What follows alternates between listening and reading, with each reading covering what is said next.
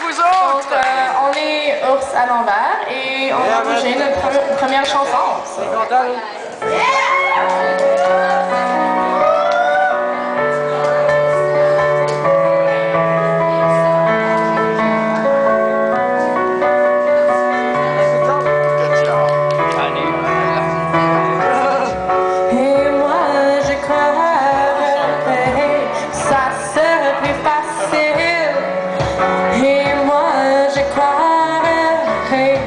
Cause